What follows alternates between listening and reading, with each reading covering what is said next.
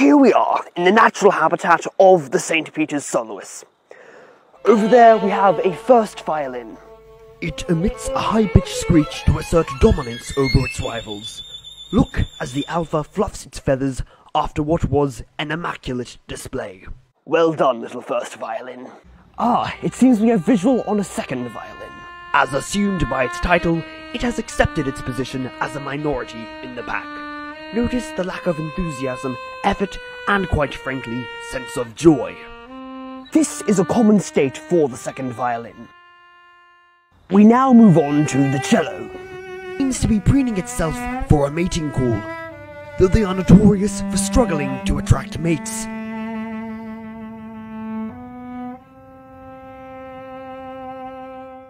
It has now moved on to grooming. This may take some time. Next is the double bass. The largest of its species, watch now as it awakens from slumber for its annual note.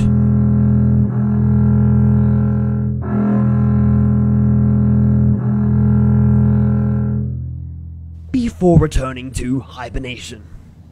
And of course, every herd has its runt, the viola.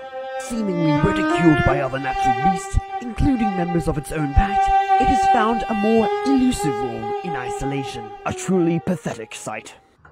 Ah, I believe the first violin has begun their initiation ritual call. What may sound like barbaric noises to us, to them is the initiation of what is music.